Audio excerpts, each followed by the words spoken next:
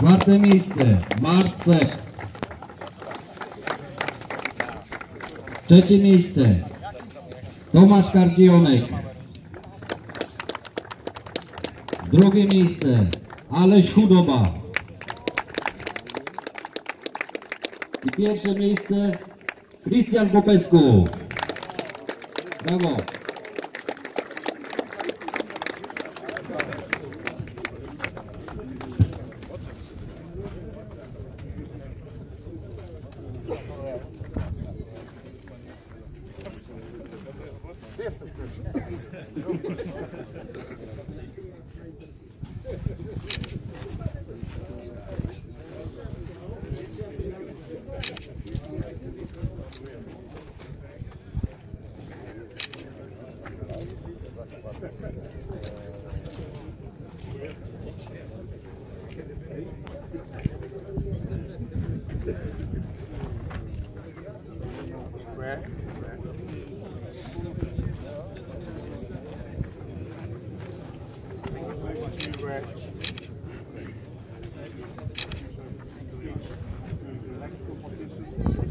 Brawa dla zawodników.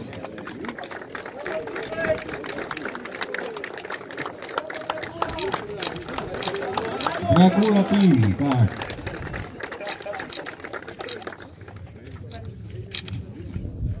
melhor aqui.